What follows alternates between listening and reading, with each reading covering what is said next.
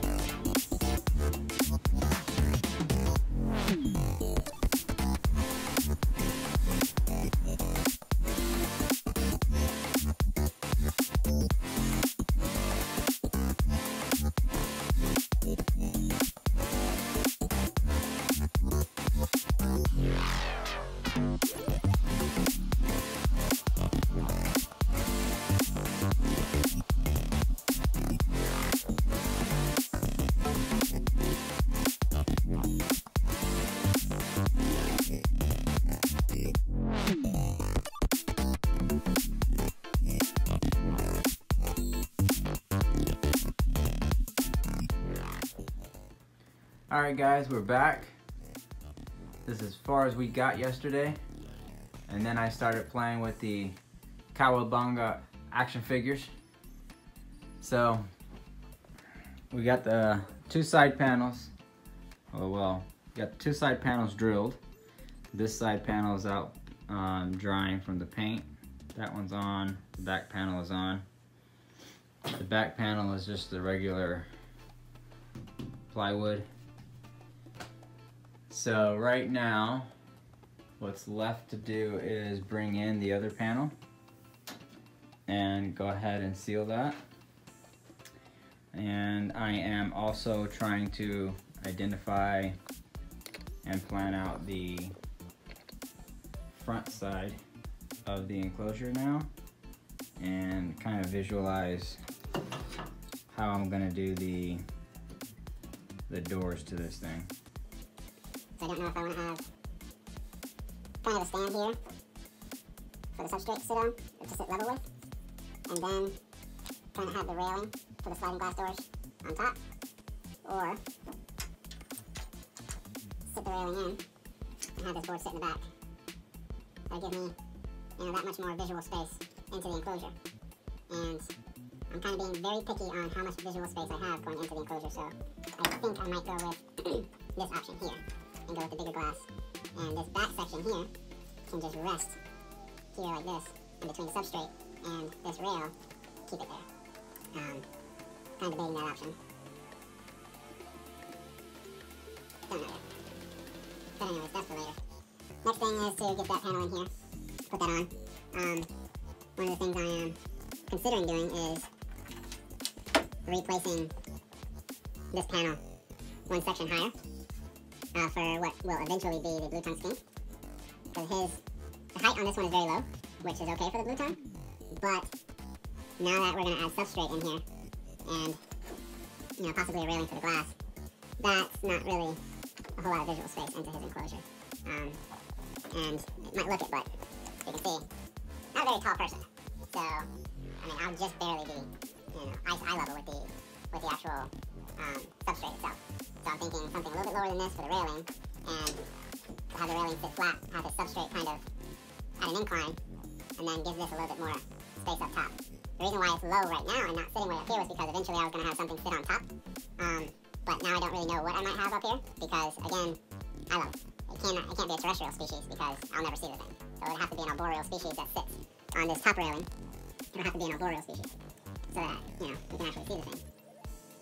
But I don't know if, if I'll ever actually put anything up there.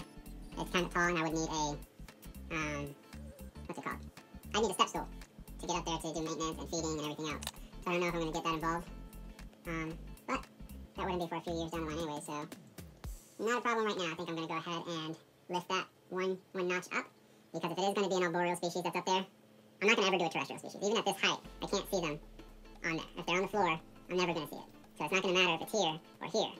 Um, I'm not going to see terrestrial species. And if it's an arboreal species, again, it's not going to matter because they're going to always sit a little bit higher in the visual space. So I'm going to go ahead and lift that up a notch. Um, and again, that's why I think this little, this type of rack system is awesome because, I mean, I have two boards on here already set.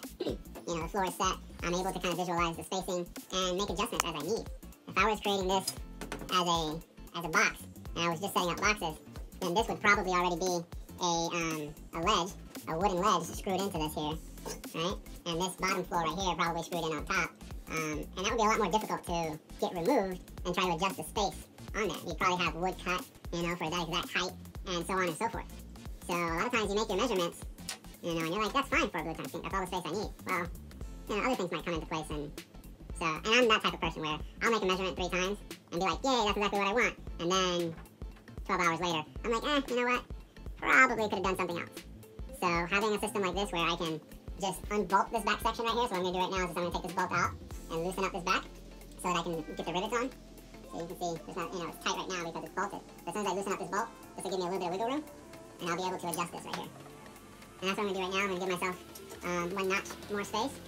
And then once I get that done, I will tighten these bolts back up, put the side panel on, and then I think the next step after that will be getting some of this stuff right here. Gaps and cracks. Great stuff foam. And foaming up my, my cracks. You can see there's a little bit of spacing back there. I might also foam it up from the back side, from the back, uh, just to get some of those little cracks sealed. And yeah, so we're gonna foam up the edges. Alright guys, check in a bit.